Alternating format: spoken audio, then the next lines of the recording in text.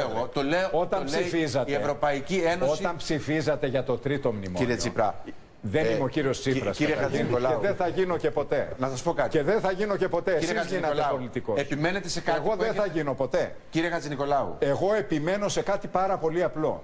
Πήγατε και ψηφίσατε στη Βουλή το τρίτο μνημόνιο. Υπήρχαν ήδη τα capital controls. Ό,τι κακό ήταν να γίνει, είχε γίνει. Δεν κατάλαβα γιατί δεν μπορούσατε να το επιστρέψετε στους δανειστές. Είναι- είστε ο λέγοντας, πρώτος- ο ένα, πρώτος- ο δύο, πρώτος που τρία, προτείνετε. Τέσσερα, αυτά δεν συμφωνούμε. Δεν είναι καλά. Δεν είναι καλά.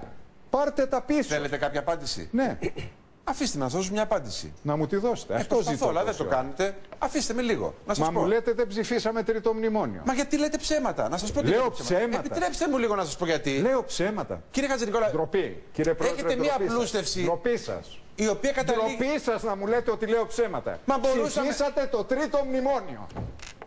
Και σας προκαλώ να μου φέρετε για να αποδείξετε αν λέω ψέματα ή όχι ψηφοφορία στη Βουλή η οποία να αφορούσε το ευρώ.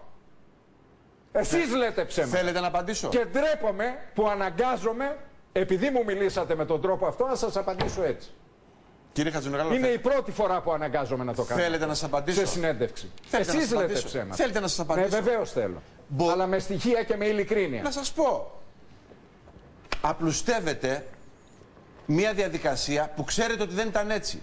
Δεν είχαμε τη δυνατότητα, Ρωτήστε τους τρεις συναδέλφους. κύριε Χατζηνικολάου. Ρωτήστε, έχετε Μα για το τρεις. Θεό μπορείτε να περιμένετε να Ρωτήστε απαντήσω. τους συμπολίτες μας. Μα- Ρωτήστε. Μα, θα Υπήρξε ψηφοφορία για το ευρώ στη Βουλή; Υπήρξε, θυμάστε τέτοια ψηφοφορία; Κύριε Χατζηνικολάου, θα Γιατί εγώ ακούσετε την θυμούμαι απάντησή μου; ψηφοφορία Ναι για ή το όχι; τρίτο μνημόνιο. Θα ακούσετε την Υπάρχει απάντησή ένας μου. σα που θεωρεί ότι υπήρξε τέτοια Κύριε Χατζηνικολάου, ψηφοφορία. είναι σωστό Α αυτό που σηκώσει κάνετε το τώρα. χέρι, ένας.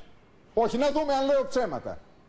Με κατηγορήσατε ότι λέω ψέματα. Θέλετε να ακούσετε την απάντησή μου ή όχι; Ναι, αλλά όχι με κατηγορίες. Να Θέλετε να απαντάτε ακούσετε. επί της ουσίας. Θέλετε να ακούσετε την απάντησή Ήρθατε μου. να μου πείτε ότι λέω ψέματα; Με συγχωρείτε πάρα πολύ. Θέλετε να μην Όχι, απαντήσω. θα ανακαλέσετε το είπα ψέματα. Θα το ανακαλέσετε για να συνεχίσετε. Θέλετε να ακούσετε την απάντησή μου και να βγάλετε συμπέρασμα για αυτό που σας είπα; Επιτρέψτε με αυτό. Και μετά συζητάμε αν είπατε ψέματα ή όχι. Κρίμα. Κάνετε μια Είστε και απλούστευση. δημοσιογράφος. Κρίμα. Κύριε Χατζηνικολάου, Κρίμα.